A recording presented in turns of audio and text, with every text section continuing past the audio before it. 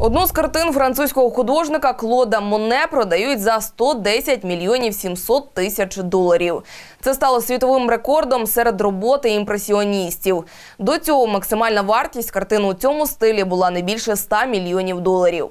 Найдорожчою була картина Моне Латаття у кольорі, яку у минулому році продали за майже 85 мільйонів доларів. Всього на аукціоні було представлено 56 робіт відомих художників 19-20 сторіччя. Загалом на аукціоні було виручено близько 350 мільйонів доларів.